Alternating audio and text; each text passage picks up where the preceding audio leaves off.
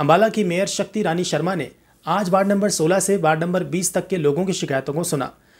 इस दौरान लोगों ने गली, नाली साफ़ सफ़ाई व सीवरेज की समस्याएँ रखी, जिस पर मेयर शक्ति रानी शर्मा ने तुरंत एक्शन लेने का काम किया।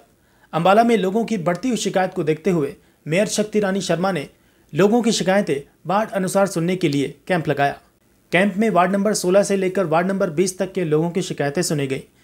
इस दौरान लोगों ने गली, नाली साफ़ सफ़ाई व सीवरेज की समस्याएँ रखी, जिस पर मेयर शक्ति रानी शर्मा ने तुरंत एक्शन लेने का काम किया।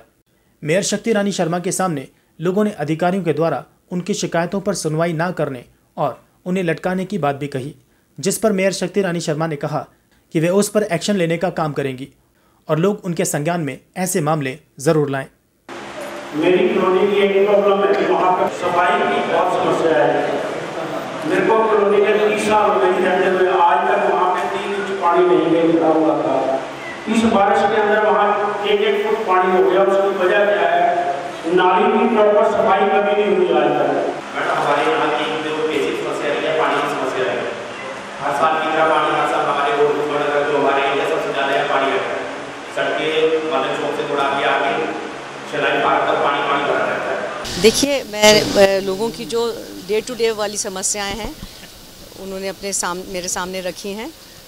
खास करके सीवरेज की है या नालियों की, बरसाती पानी की है या टूटी हुई सड़कों की है, किसी ने टावर की भी रखी हैं। अलग अलग तरह की सबकी इंडिविजुअल समस्याएँ थी तो उन्होंने रखी हैं और मैंने उनको आश्वासन किया है कि जो भी मेरे दायरे में आती होंगी, वो मैं उनको जल्द से जल्द निजात दिलवाएँगी देखिए, अगर कोई प्रॉपर कंप्लेन मेरे को देगा तो तो मैं उसके ऊपर संज्ञान ले सकती हूँ। अगर कोई जनरलाइज कहे कि भाई अधिकारी काम नहीं कर रहे हैं या वो नहीं कर रहे हैं उसके ऊपर मैं कुछ नहीं कह पाऊँगी।